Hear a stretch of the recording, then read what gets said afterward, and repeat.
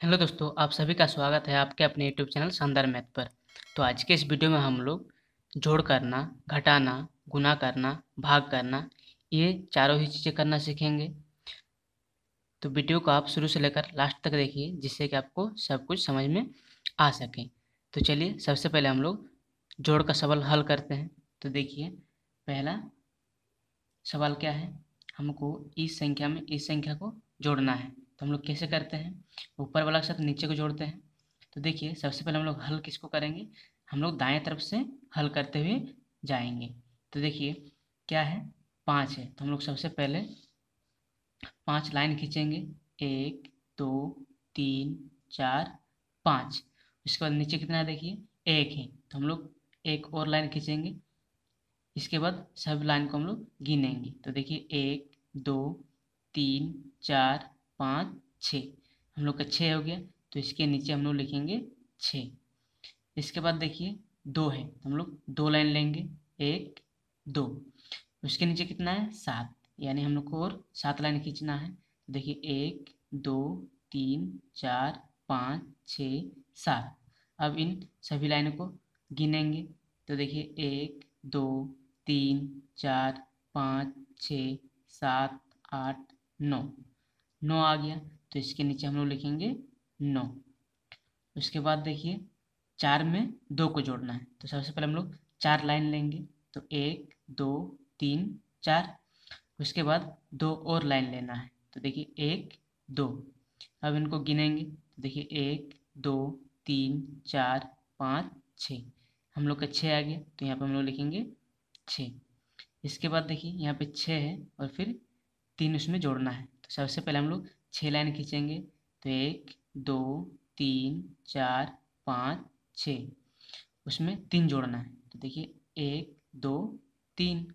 अब इन सबको एक साथ गिनेंगे। तो एक, दो, तीन, चार, पाँच छ सात, आठ, नौ। तो हम लोग का नौ आ गया। तो अब हम लोग लिखेंगे नौ। इस तरीके से हम लोग जोड़ बनाते हैं।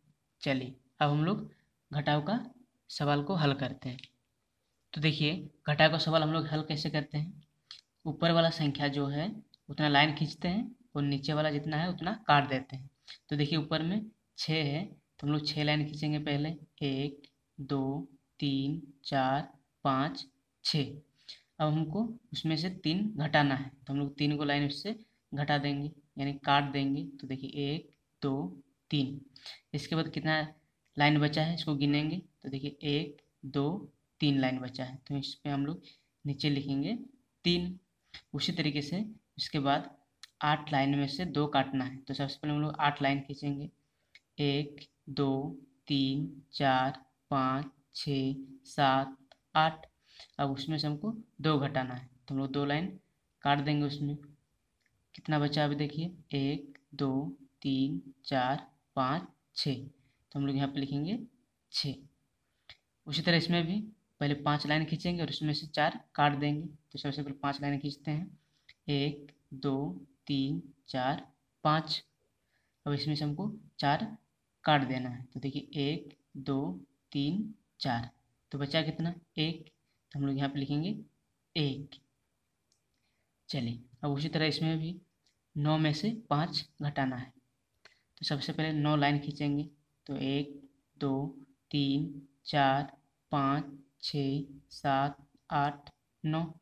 अब उसमें से पाँच उसमें काट देंगे। तो एक, दो, तीन, चार, पाँच। तो हम लोग को बचा कितना? एक, दो, तीन, चार। चार बचा, जिसको हम लोग यहाँ पे लिख देंगे। तो इस तरीके से हम लोग घटाना भी करते हैं। तो चलिए, अब हम लोग गुना बनाना सीखते हैं। तो देखिए, गुना किस तरीके से करते हैं। ये जो ऊपर वाला संख्या है उसको हम लोग दो से गुना करते हैं। तो देखिए, जो नीचे रहेगा, उसका पहाड़ा पढ़ना होता है। तो आपको अगर दो से दस तक पहाड़ा याद है तो आप आसानी से गुना कर सकते हैं। तो देखिए, सबसे पहले हम लोग क्या करेंगे? दो का पहाड़ा पढ़ेंगे चार बार। तो चलिए, दो का पहाड़ा पढ़ते हैं। दो एक कम दो दो दूनी चार, दो तिया छः, दो चौके आठ। तो दो चौके कितना होता है? आठ होता है। तो हम लोग नीचे में लिखेंगे आठ। अब दो का पहाड़ा दो बार पढ़ेंगे। तो दो एक कम दो दो दूनी चार। तो नीचे लिखेंगे हम लोग चार। अब दो का पारा तीन बार पढ़ेंगे। तो दो एक कम दो दो दूनी चार, दो तिया छः। तो हम लोग यहाँ पर लिखेंगे छः। इसका भी हो गया। अब दो का पढ़ा हम लोग छः बार पढ़ेंगे। तो दो एक कम दो दो दूनी चार, दो तिया छः, दो चौके आठ, दो पचे दस, दो छक्का बारह। तो हम लोग यहाँ पे लिखेंगे बारह। इस तरह से हम लोग गुना करते हैं। और ये हम लोग का उत्तर आ गया। तो चलिए और एक क्वेश्चन बना कर देखते हैं। तो इसमें देखिए, तीन का पढ़ा पढ़ना है, ठीक है? तो चलिए तीन का पढ़ा पढ़ते हैं, पाँच बार। तो तीन अक्कम तीन तीन दूनी छः, तीन तिया नौ, तीन चौके बारह, तीन पच्चे पंद्रह। तो हम लोग का क्या आएगा? पंद्रह आएगा। इस तरीके से तो हम लोग इकाई का स्थान वाला लिखते हैं और दहाई वाला हासिल चला जाता है। तो देखिए इकाई वाला कितना है? पाँच है तो हम लोग यहाँ पे पाँच लिखेंगे और एक हासिल चला जाएगा। उसके बाद तीन का पढ़ा दो बार पढ़ेंगे। तो तीन कम तीन तीन दूनी छः। दो बार में छः आ जा रहा और एक हासिल था।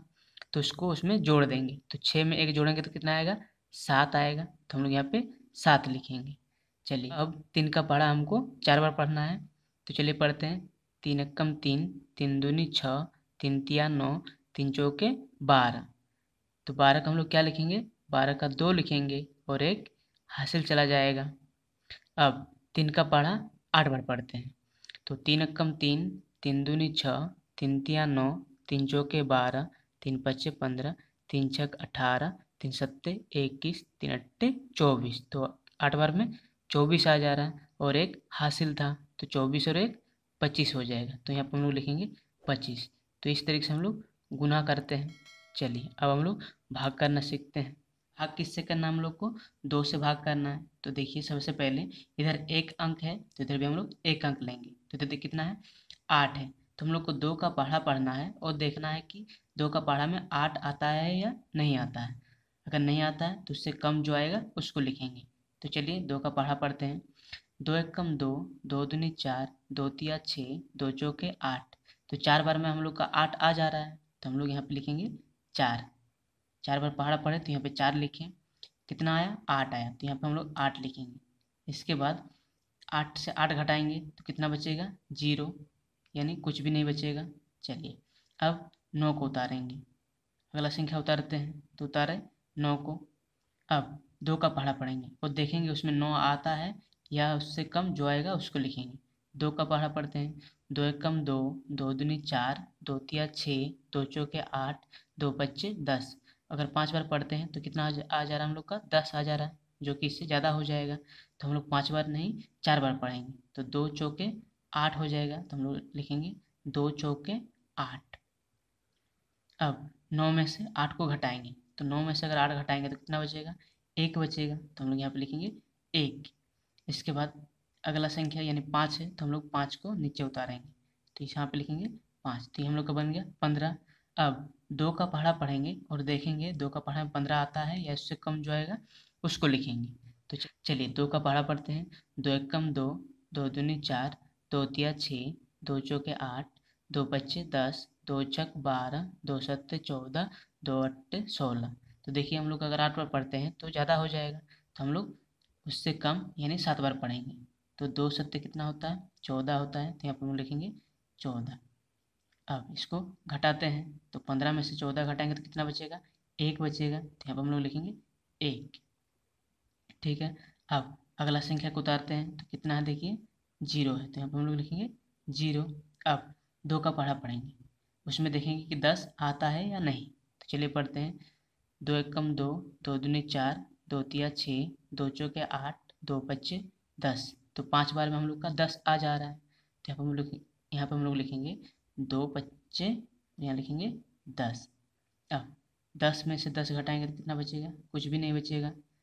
तो जब हम लोग का लास्ट में कुछ भी नहीं बचेगा तो हम लोग का आंसर आ जाएगा। ये हम तीस तरीके से हम लोग भाग करते हैं। आशा करता हूँ आपको सब कुछ समझ में आ गया होगा। अगर वीडियो पसंद आया हो तो प्लीज़ वीडियो को लाइक कर दीजिएगा और अपने दोस्तों में भी इसको शेयर कीजिएगा। और अगर आप चैनल पर पहली बार आए हैं और इस तरह का वीडियो देखना चाहते हैं तो प्लीज़ चैनल को सब्सक्राइब कर लीजिएगा। मिलते हैं नेक्स्ट वीडियो में।